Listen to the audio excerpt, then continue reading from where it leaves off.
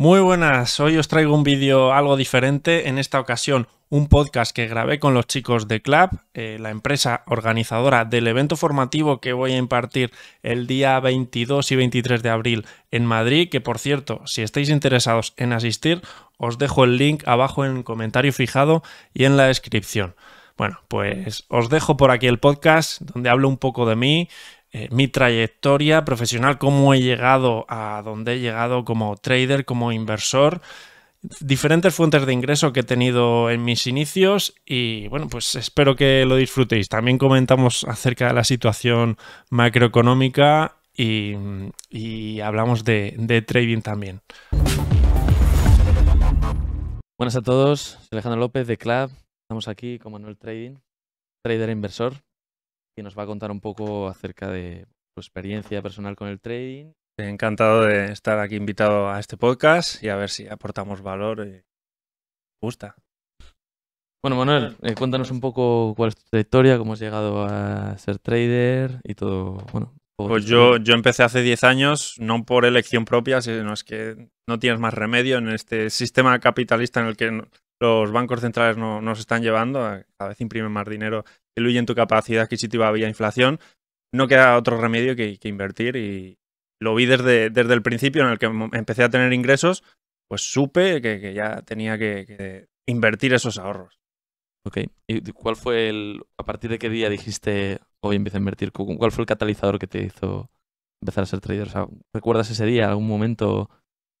No, siempre desde, desde pequeño me han interesado los mercados financieros. Yo recuerdo tener, tener 15 años y en la crisis del 2008 ya estar pendiente de, lo que ocurría con la economía y, el, primer sistema, el, primer sistema Ponzi del que yo fui consciente fue el de Bernard Madoff.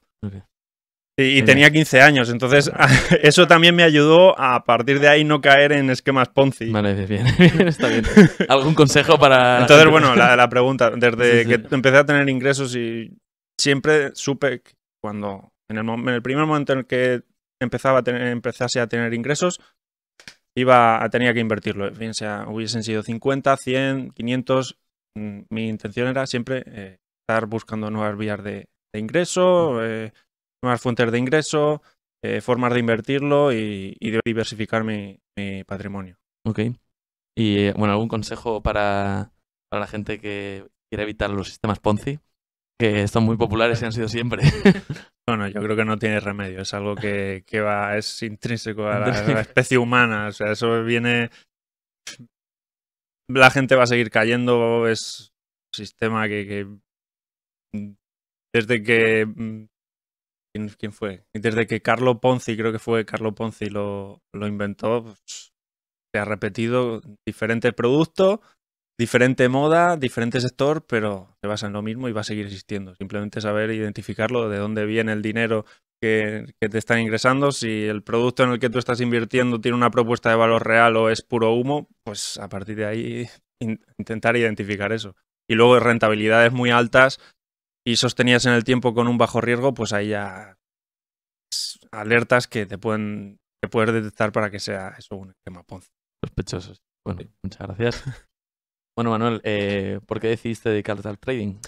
Pues como te he dicho, no creo que sea algo que se deba decidir, es algo que se tiene que hacer sí o sí, porque en el sistema capitalista en el que estamos, que es un sistema que está agotado o se está agotando, porque se basa en que los bancos centrales imprimen dinero, diluyen tu capacidad adquisitiva vía inflación y eh, o inviertes o vas a ser cada vez más pobre. O sea, te montas en la rueda de la inversión o estás muerto. Es que debes construir una cartera de activos, bien sea eh, activos en los que tú estés invirtiendo pues tú activamente, valga la redundancia, o más de forma pasiva a través de fondos indexados, pero para todo tienes que tener conocimientos de trading. Debes saber cuándo comprar y cuándo vender. Bueno, ¿y cómo es un día en la vida de Manuel? ¿Tienes algún tipo de rutina o...? Pues debería tener rutina, pero la, verdad es que no, no, tengo. Normalmente me levanto entre las 9 y las 10 de la mañana, dejo fluir, desayuno y desde que termino el desayuno tranquilamente pongo con, los gráficos, leyendo noticias durante todo el día, si veo alguna oportunidad dentro del mercado, si no, pues me tengo fuera. Y luego, como creador de contenido, sí que debería tener una rutina, pero bueno, como lo hago porque me gusta, si me apetece grabar, grabo, si no, no grabo. Y lo que sí que intento es tener en una pizarra apuntado la lista de tareas con un nivel de prioridad, de más alta prioridad a más baja, y, lo voy realizando a lo largo del día. Bueno, Manuel, ¿y qué hacías antes de dedicarte al trading? Antes de descubrir que era tan importante. Pues cuando cumplí los 18 años pues no tenía ninguna fuente de ingresos. Fui a la universidad, como cualquier chaval en España de 18 años, y buscaba constantemente formas de obtener ingresos vía internet porque quería seguir compatibilizando mis estudios y también eh, hacer deporte de forma diaria. Y entonces es, es, cierto que ahora mismo el internet que hay hoy en día eh, no es el mismo que había hace 12 años. Ahora mismo cualquier chaval de 15 años puede conseguir ingresos fácilmente, relativamente fácil, vía internet, pero hace 12 años era muchísimo más difícil. YouTube no monetizaba, de redes sociales prácticamente no vivía nadie, entonces conseguir ingresos vía online era, era muy, muy jodido. Y casualidades que yo estaba mirando constantemente formas de, obtener ingresos vía internet, pues descubrí una página de, de juegos. Mm, tú pagabas una entrada a torneos y el que ganaba pues se llevaba el bote. Y yo era de, el mejor jugador de, en esa página, el mejor jugador del mundo y me llevaba siempre el bote entre un premio de entre 5 a 50 euros al día. Variaba mucho, pero bueno, esos fueron mis primeros ingresos. ¿Qué juego era? Eran muchos juegos. Era el Candy Crush. ¿Vale? Eh, que así conocidos. Google Witch Saga. ¿Te competías con todos esos? Competía con gente de otros países, bueno, de todo el mundo. Tú pagas una entrada. ¿Vale? El, esa entrada se acumulaba como un torneo de póker, pero el que se hacía más puntuación en ese juego, en esa partida, se llevaba al cabo de 24 horas o de una semana, dependiendo de la duración, de la duración del torneo, pues se llevaba el bote. Eh, bueno, Y eso, bueno, eso, eso ya se acabó. Vale, hombre, ya imagino que. Podía haber durado más, pero se acabó. Es difícil vivir con 5 euros al día. Sí, De sí. entre 5 y 50. 5 y 50. Bueno, 50 está bien, pero 5. Bueno, dirías que eres más libre ahora que antes de dedicarte al trading. Eh, sí, claro, por supuesto. O sea, yo en ningún momento tengo horarios, no, no me pone nadie el horario. Nunca he tenido tampoco un trabajo convencional de jefes, un horario fijo, cinco días, cinco o seis días a la semana, eso no. Pero es cierto que ahora soy yo el que me tengo que poner horarios, porque si no, no, no puedes conseguir nada en la vida. Y antes de, cuando estaba en la universidad, antes de dejar la universidad, pues también tenía el horario de, de la universidad que, que, no, no digamos que no me ¿Te gustaba. gustaba? Bueno, Manuel, también comentas que dejaste la universidad. ¿Puedes comentar un poco acerca de eso? ¿Que estudiabas? ¿Por qué lo dejaste? Pues eh, empecé a estudiar ingeniería informática, ya desde el principio vi que la, toda la economía mundial y la sociedad iba avanzando hacia un mundo totalmente digitalizado. Ya en 2011 lo vi y quería formar parte de eso. ¿Cómo quería formar parte de eso? Pues montando alguna empresa, no tenía, tampoco tenía claro qué tipo de empresa o qué solución quería, quería dar a, a la gente para que me pagasen por ello, pero sí tenía claro que quería emprender. Luego me di cuenta, a medida que vas avanzando en un curso y otro, que no te preparan en ningún momento en la universidad para emprender, sino para tener un trabajo convencional y, y ya está. Eso no me gustó y en el momento en el que empecé a obtener ingresos, pues digamos que pierdes la motivación. ¿Me arrepiento de esa decisión? Pues la verdad es que sí, porque dejé una cosa a medias, que a mí no me gusta dejar las cosas a medias, pero las circunstancias también me llevaron a ello.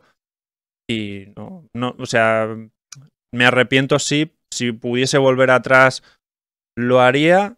Quizá con algo más de eh, un esfuerzo extra podría haber terminado la carrera que la dejé en el último año, pero es que las circunstancias me llevaron a ello. O sea, me arrepiento de no haberla acabado, pero no me arrepiento porque hoy en día estoy aquí a lo mejor gracias a que dejé la carrera antes. ¿La retomarías en un futuro? Si tuviese tiempo, sí. Ahora mismo no tengo tiempo. De acuerdo, de acuerdo, de acuerdo. Y con respecto a dejar la universidad, ¿qué le dirías a una persona que también tiene un objetivo claro y, ve que la universidad se interpone en su camino? ¿Recomendarías dejar la universidad? No. Pues lo, bonito sería decir que luches por tus sueños, que lo dejes todo por tu objetivo, pero que a mí me haya ido bien no significa que a otra persona le vaya bien. O sea, esto es el sesgo, entrar en el sesgo del superviviente.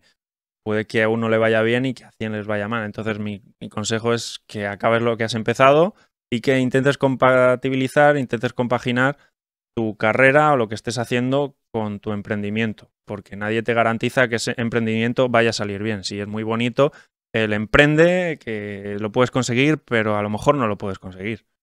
Pero lo importante es tener un objetivo y saber hacia dónde te diriges, porque la mayoría de la gente no tiene ningún objetivo. Van como zombies eh, con el móvil por la calle y eh, a lo que se les ponga por delante y, y eso tampoco es. Dirías que ahora hay una crisis de propósito en la sociedad. la- Por, por supuesto, está- estamos en una sociedad donde las élites que nos manejan nos dicen, dicen a la mayoría de personas hacia dónde tienen que ir y luego se dan cuenta de que, ah, no, es que he terminado la vida y, y no he cumplido nada de lo que quería hacer. Y al final eso te lle- por eso hay tanta gente con depresión, hay tanta gente que se suicida, que cada vez son más. Ese es el principal motivo. No hay un objetivo de vida para, porque cada persona tiene un objetivo distinto. El mío a lo mejor no es el mismo que el tuyo. Si tú me quieres copiar mi objetivo a mí, que eso también lo lleva mucho las redes sociales, tú ves a una persona que tiene éxito y le quieres copiar, pero es que a lo mejor no es tu objetivo de vida. y bueno, Y lo intentas, lo intentas cumplir, intentas seguir el objetivo de, de esa persona porque crees que es el ideal o porque los estereotipos sociales te han mm, hecho creer que ese es el, el modelo de persona ideal, luego te das cuenta de que no, que a ti te encaja otra cosa y ves que no lo consigues, caes en depresiones y cosas peores. ¿Y ¿Cómo encuentra una persona su propósito? ¿Cómo lo encontraste tú? Uf, es que eso es...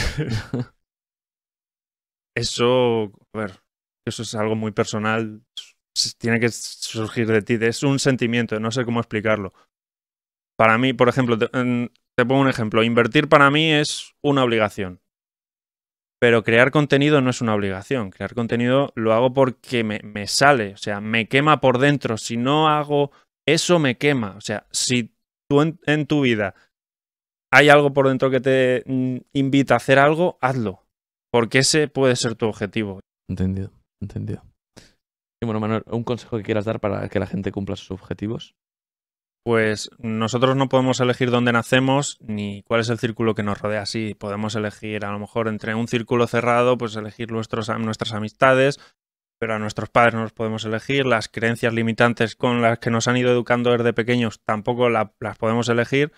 Entonces, mi consejo es que una vez ya tienes tu objetivo localizado, eh, sigas, te rodees de las personas que hayan llegado a ese objetivo, que estén en el camino más avanzado que tú. Eh, ¿Y cómo se consigue eso? Bueno, pues a través de redes sociales lo puedes conseguir. Pero para eso tienes que tener claro tu objetivo primero. Si tú te rodeas de personas, ya sea físicamente o a nivel de redes sociales, con personas pobres de mente o de hábitos, pues probablemente tú seas una persona pobre de mente y pobre de hábitos. Si sigues a gente en redes sociales que han conseguido el objetivo que tú quieres lograr, probablemente tú también llegues a conseguirlo porque vas a saber por dónde ir, vas a tener el camino más claro. Y bueno, ¿cómo te acercas a esa gente que tiene más talento que tú y que ahora mismo está en un nivel superior al tuyo con respecto a las habilidades y demás? Eh, ¿Cuál es tu forma de aproximarte a esa gente? Pues la mejor forma que tenemos ahora mismo son las redes sociales. Debes empezar a seguir a personas que hayan cumplido tu objetivo, aunque primero debes tener claro tu objetivo, qué objetivo quieres cumplir, saber qué personas lo han cumplido antes, seguirlas e intentar eh, seguir el camino que hayan podido hacer ellos, ahorrarte esos problemas o esos errores en los que hayan podido caer tus referentes, intentar evitarlos, forjar tu propio camino para llegar al objetivo y durante ese camino vas a ir encontrándote a personas que te acompañen y, y luego quién sabe hasta dónde puedes llegar, quizá llegues a conocer a uno de tus referentes, pero una vez hayas conseguido tu objetivo final. Porque hay que ser realista, una persona que ya está en un nivel no va a ir a hablar con otra que, que está en un nivel más bajo. ¿Por qué? Porque esa persona probablemente no le pueda aportar nada. Totalmente comprensible. digamos que te tienes que equilibrar con gente de tu mismo nivel para poder tener mm, buenas relaciones. De esa manera progresar juntos, ¿no? Sí. Bueno, ahora te voy a hacer una serie de preguntas más enfocadas en el entorno macroeconómico y la situación actual, que yo creo que puede ser muy interesante tu perspectiva sobre el asunto. La primera de ellas es, ¿crees que habrá una crisis en los próximos años? ¿O ¿Cómo, cómo ves el futuro económico? Pues ya estamos en crisis. Aunque la gente crea que no, estamos actualmente en crisis. Lo que pasa que eh, se está disimulando un poco porque venimos de un estímulo monetario eh, increíble y desproporcionado. Digamos que la sociedad está sobreviviendo de, eso, pero si tú miras los crecimientos económicos, los ingresos de las empresas cada vez son menores y, la crisis, ya estamos en crisis. Luego, en Europa, con una guerra, con una inflación disparada, la inflación subyacente todavía subiendo, después de seis meses que lleva el Banco Central subiendo tipos de interés, eh, dependemos energéticamente de Estados Unidos. A Estados Unidos le favorece un dólar fuerte eh, para cobrar el petróleo más caro a Europa en Europa estamos mucho más jodidos que en Estados Unidos. Además es que en la eurozona no creo que pueda subir los tipos de interés más allá del 4% porque se cargaría la economía de los países que están terriblemente endeudados como, como entre ellos España. Y eso va a favorecer al dólar, que el dólar siga fuerte y por tanto sigamos importando inflación vía, vía petróleo. Los estados también buscan pagar los intereses de la deuda que tienen como subiendo los impuestos a quién, a las empresas. Eso deja menos margen de beneficio para estas y también esto se ve repercutido tanto en el producto final que sube como que tienen menos margen para contratar y crear empleo. Pues es que la solución, sé que es una pesimista, pero, pero de cara a los próximos dos, tres años eh, vamos a ir viendo cómo va a haber más despido, menos crecimiento económico, las bolsas que antes subían pues probablemente se estanquen. Esa, es mi visión. Me puedo equivocar, pero a día de hoy, con, con, una sociedad, unos estados cada vez más endeudados y una deuda crónica que va creciendo, pues para mí no, no, no veo solución posible. ¿Crees que los estados seguirán evitando hablar del elefante en la habitación? ¿O ¿Hasta cuándo? Pues no, por supuesto. Pues el sistema, te he dicho que está agotado, el sistema capitalista está agotado, se basa en imprimir dinero y la solución que tenemos los ciudadanos es invertir. Ya está, no hay más. hablan del gran reset, la Agenda 2030.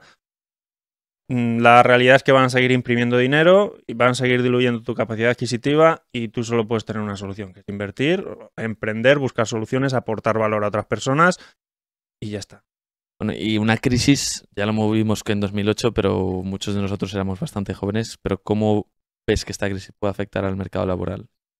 Al mercado laboral, pues es curioso porque normalmente cuando hay una crisis a nivel de mercados financieros, un desplome, el mercado laboral no se ve afectado y llega años más tarde. Pues podemos ver en los próximos dos, tres años cómo el desempleo empieza a aumentar.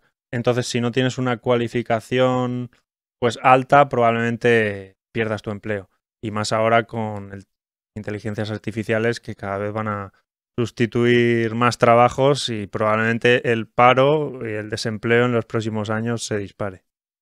Porque ahora recuerdo que estamos en mínimos de desempleo, es una tasa de desempleo históricamente baja eso es positivo a nivel social, pero es un indicador tardío. Cuando llega la recesión, en un inicio, cuando ya estamos, empezamos la crisis, la tasa de desempleo es muy baja siempre y luego, cuando ya estamos saliendo de la crisis, la tasa de desempleo es, la, es altísima.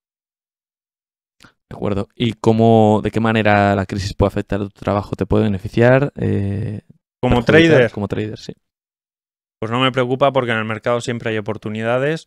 Durante la crisis del 2020 la pandemia se vio, como eh, las empresas en un inicio se desplomaron, luego hubo otras que lo hicieron muchísimo mejor, las empresas tecnológicas, las empresas de turismo lo hicieron muy mal, quien se quedase estancado únicamente en empresas de turismo, pues lógicamente perdió una gran oportunidad. Igual la gente que durante el año 2021 no tuviese criptos en su cartera, pues vio que se le escapó una oportunidad enorme de, rentabilizar su, patrimonio. Entonces, oportunidades siempre va a haber en el mercado. Haya crisis o no haya crisis, siempre va a haber un activo que lo haga mejor que el otro. Y luego, como trader, si eres capaz de tener conocimientos de trading y sabes posicionarte tanto en largo como en corto, leer las tendencias, bajista, alcista, pues las oportunidades siempre, siempre las va a haber. Hay una idea que tienen muchas personas es, bueno, es que ahora estamos en crisis, no voy a invertir o, hay muchos riesgos en la economía, me mantengo al margen y cuando no haya riesgos invierto. Mira, te digo que en los 10 años que llevo invirtiendo y la década del 2010 al 2021 ha sido la década con mayor revalorización de la historia. En esos 10 años siempre ha habido algo de lo que preocuparse. La crisis periférica, mm, la crisis de eh, Estados Unidos contra China, eh, el Brexit, siempre el COVID, siempre ha habido algo de lo que preocuparse, pero la bolsa ha seguido subiendo. Entonces, si no inviertes y te quedas fuera, vas a perder. O sea, la, la idea no es, nunca va a haber un momento en el que te digan, ahora es momento de invertir. No, eso no va a pasar. O, sea, o inviertes ahora, o aprendes a invertir ahora, o te quedas fuera. Eh, hay que aprender a invertir, digamos, en la, realidad real, no en tu cuento imaginario de la situación ideal cuando sea. La situación ideal no existe. La situación ideal es ahora. La situación ideal no existe. Eh, solo que debes buscar tú cuál es el mercado ideal para la situación actual. Bueno, Manuel, eh, últimamente se habla mucho de libertad financiera y quería preguntarte, pues, ¿qué es para ti y si estás cerca de alcanzarla? La libertad financiera es cuando los activos que tienes invertidos te pagan tu nivel de vida y no estoy cerca de alcanzarla porque para alcanzar esa libertad financiera tendría que estar mm, despreocupado en los gráficos y ahora mismo pues todos los días estoy pendiente de ello. ¿Qué nivel de ingresos necesito para alcanzar esa libertad financiera? No me gusta hablar de cifras, pero a lo mejor 3.000 euros al mes pero conseguir eso de forma totalmente pasiva, pues necesitas muchísimo capital. ¿En qué nivel estoy ahora? Pues a un 10% de eso quizá. De acuerdo. De forma pasiva.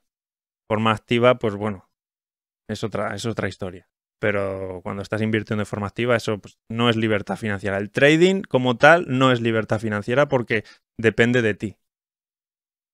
¿De forma pasiva qué defines? ¿Meter en fondos de inversión o...? Fondos indexados o vía dividendos, incluso en criptos, eh, mediante estrategias de yield farming o en push de liquidez, exchange descentralizados. Ahí. O tener alguna empresa también, algún negocio que dependa de ti lo mínimo posible, o también vía inmuebles, alquiler, que todo requiere una mínima atención. Pero hay eh, trabajos o actividades que requieren más atención, como puede ser el trading, y otras que menos. Y luego también depende del tipo de trading, porque también puede que tu trading sea a lo mejor de más largo plazo, que hagas una operación al mes, dos, que aunque requiera algo de atención por tu parte, eh, no es lo mismo que estar operando intradía. También depende de cada persona y, y, cada persona debe localizar en base a sus objetivos, su capacidad adquisitiva y su tiempo, qué tipo de trading quiere aplicar para lograr ese objetivo de la libertad financiera. Bueno, hablando de rentabilidades pasivas y demás, eh, en España eh, es muy típico invertir en inmuebles. ¿Qué opinas tú de la inversión en inmuebles en, España, en el resto del mundo, etcétera? Pues es un tema cultural que sobre todo viene a raíz del boom eh, inmobiliario, del boom de la construcción desde el año 1980 hasta la crisis del 2008. La gente que ha vivido eso, como dice Ray Dalio en el libro del Nuevo Orden Mundial, que ha vivido cómo los inmuebles se han revalorizado en un espacio de tiempo, pues se han revalorizado mucho, tienden a mirar y a invertir y tener siempre ese activo como referente a la hora de invertir. Y puede que a lo mejor no sea la mejor opción. Como te digo, es algo cultural. Eh, te pongo otro ejemplo. La gente que haya invertido en criptos en 2020-2021 probablemente solo mire criptos a partir de ahora y deje otra amplia gama de activos que se pueden revalorizar más durante la próxima década. Entonces, invertir en inmuebles, bien, perfecto, pero hay que entender del mercado, porque no todos los inmuebles suben de precio. Depende de la zona, depende de muchísimas cosas. Y entre invertir en un fondo eh, de inversión indexado, por ejemplo, o invertir en inmuebles, eh, consideras que es mejor? Eh, no creo que haya nada mejor. son dos vías diferentes y totalmente compatibles. En un fondo puedes invertir desde muy poco capital, es la ventaja que tiene, y animo a todas esas personas que a lo mejor no puedan invertir en un inmueble, que se interesen, pues, en un principio por invertir en algún ETF o en algún fondo indexado o en algún fondo de gestión activa.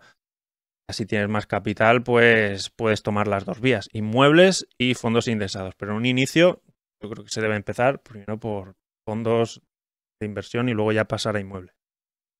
¿Y qué opinas de que las inversiones inmobiliarias sean menos líquidas que otras inversiones, están ancladas a una legislación, a un territorio, etcétera? Pues son los pros y los contras que tiene cada inversión.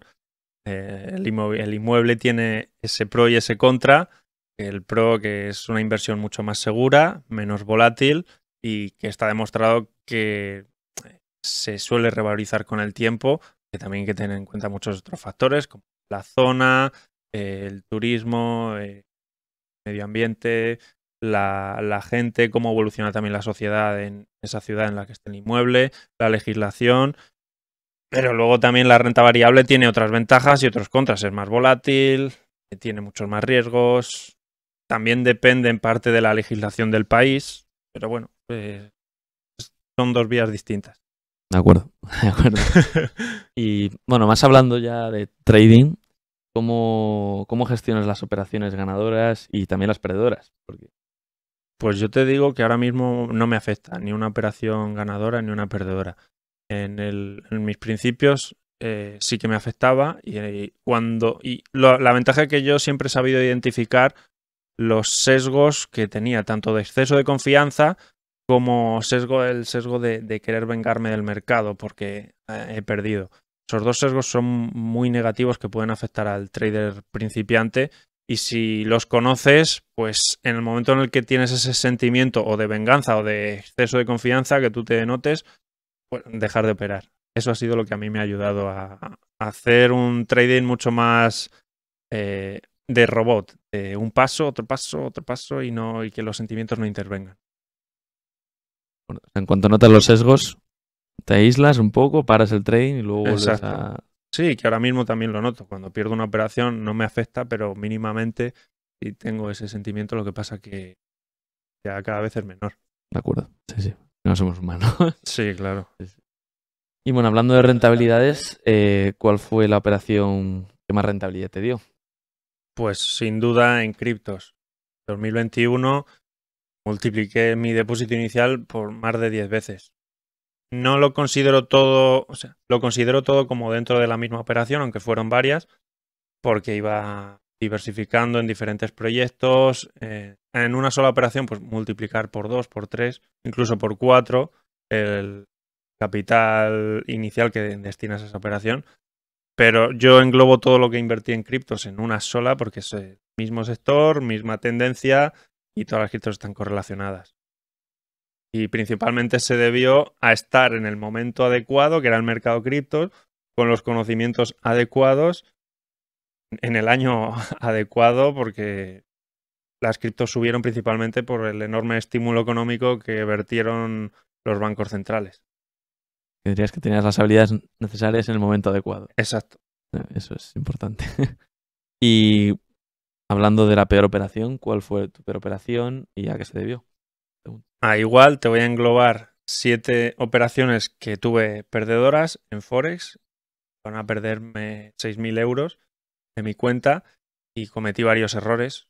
Primero fue que en algunas operaciones me precipité, sobre todo cuando ya llevaba una racha de cuatro operaciones perdedoras. Hubo dos operaciones, la quinta y la sexta, que me precipité demasiado. Eh, a entrar al mercado no tendría que haber entrado en ciertos puntos y luego que estaba aplicando una gestión de riesgo muy agresiva, aunque también era consciente de ello, era consciente de la que estaba arriesgando mucho, porque buscaba también ganar en esa cuenta bastante capital, pero bueno, era el riesgo que corría, pero aún así fue una pérdida grande y me afectó en parte. ¿Te afectó emocionalmente? Me afectó emocionalmente y dejé de operar Forex durante un tiempo. Sí. Unas semanas, sí. Eh, y si únicamente puedes invertir en un activo, ¿cuál sería? Pues sería el solo en un activo, el MSCI World, el ETF, y a nivel, a nivel de inversión pasiva. De, a nivel de trading, con Bitcoin o el eurodólar. No sé con cuál quedarme. Yo creo que, yo creo que me quedaría con Bitcoin, pero no lo tengo claro. Vale. ¿Y puedes explicar un poco más de, de ambos activos? ¿Por qué Eh, los eliges como Del MSCI World y de. Bueno, el MSCI World al final es un ETF que engloba las eh, mayores empresas del mundo y si la economía la economía mundial al final, si tú tienes la idea de que la sociedad va progresando, eh, eso se va a ver reflejado también en, vía empresas y, y el trading en Bitcoin porque es un activo muy volátil y da muchas oportunidades. El euro dólar es menos volátil, pero tengo también una estrategia con un track record eh, que me da confianza para hacer trading y por eso me quedaría con estos activos. Una inversión más pasiva que sería el MSCI World y luego el Bitcoin y euro dólar para invertir, hacer trading de forma más activa. ¿Y cómo, cómo eliges a un fondo en el cual invertir de forma pasiva? ¿Cuáles son tus criterios para elegir un fondo o un ETF? Pues que sea eh, un sector en crecimiento.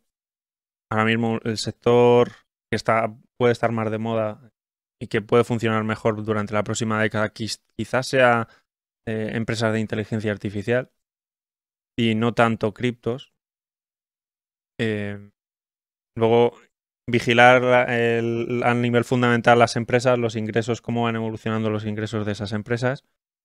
La tendencia se ve muy clara, empresas que si, si año tras año sus ingresos se han estancado, pues no es el sector adecuado en el que invertir y habría que mirar otros sectores, porque tu tesis puede estar equivocada y ver por qué estás equivocado ahí. Si las empresas no, no ingresan más, es que algo a lo mejor estás haciendo mal. Tu análisis. Bueno, Manuel, ¿y cuál es tu opinión acerca de la renta fija? Pues depende de la renta fija. si me estás hablando de la renta fija española, pues yo te diría, ¿tú invertirás en una empresa que está quebrada o que va camino a la quiebra? ¿A que no? No. Pues eh, con España ocurre lo mismo. ¿Invertirías en una empresa en la que sabes que los directivos se van de putas, drogas, eh, rock and roll? ¿A que no? No. Porque tu dinero va destinado a eso, no va destinado a una inversión que va a generar un retorno. Entonces, si tú estás invirtiendo en deuda de un país solvente, como puede ser los Estados Unidos, que, tiene el dólar como divisa reserva mundial, entonces sí. Además, que ahora mismo, tal, cual, tal cual están los tipos de interés, reparte un interés de en torno al 4% a 10 años. El SP500 tiene una rentabilidad histórica del 8,26% en los últimos 100 años. Pues las rentabilidades se ajustan y ahí sí sería atractivo. Ahora, invertir en bono español, pues ni con un palo. Muy bien, muchas gracias. Eh, y hablando de objetivos, ¿tú tienes algún tipo de objetivo a medio o largo plazo y cuáles son? Bueno, mi principal objetivo es alcanzar la libertad financiera. Punto. Visto. Visto para sentencia. Eh, y hablando de la libertad financiera, ¿tienes algún objetivo económico? ¿Podrías decirnos alguna cifra esperada o no pienso en las cifras, simplemente quiero tener una, una cartera de activos lo suficientemente grande como para que me permita vivir, costearme mi nivel de vida y vivir de forma despreocupada, no tener que estar pendiente, pues si vas al supermercado, de cuánto cuesta esto, cuánto cuesta lo otro, si voy a un restaurante tampoco, que a día de hoy pues no es que lo mire mucho, pero bueno, siempre quieres ahorrar lo máximo posible, pues si te vas de viaje, pues tampoco estar pendiente de, pues me voy aquí, me voy allá, aunque tengo la libertad para hacer lo que quiero, pero digamos que no sería responsable ahora mismo si destino el capital que tengo a ocio sin preocuparme de mis ahorros en lugar de a inversión. Entonces, una cifra exacta, pues no. Te digo que yo he sido feliz con 600 euros al mes, partiendo de ahí, mm, cifras no, lo que no me preocupan lo que sea. De acuerdo. Y bueno, sí, para finalizar un poco, los objetivos son importantes, pero los objetivos siempre van encaminados por un propósito. Por tanto, ¿cuál dirías que es tu propósito en la vida? Pues me gustaría alcanzar la libertad financiera lo suficientemente rápido como para tener las fuerzas suficientes para emprender en algún proyecto sin ánimo de lucro que pueda ayudar a muchas personas. Ese sería mi propósito final. Claro, si la libertad financiera la alcanzo con 60 años, o 70, pues probablemente no me queden fuerzas ni ganas para emprender un proyecto así. Si la alcanzo con 40, que si todo va bien podría alcanzarla, pues ahí me quedaría energía y fuerzas por delante para, para todo lo que se me proponga, para cualquier idea que, que me venga a la cabeza que pueda ayudar a personas. De acuerdo. Bueno, Manuel, muchas gracias por todos tus comentarios y tus respuestas. Eh, a ti por la invitación. Nada, y bueno, nos veremos en, próximamente en, abril. Espero que vengáis al evento. Vamos a tratar temas de trading, de inversión. Me gustaría que cada persona que asista al evento se vaya con un plan de inversión y sepa dónde invertir sus ahorros en base a su capacidad, eh, sus ingresos y su tiempo. Así que nada, nos vemos el 1 y 2 de abril. Muchas gracias. Hasta luego.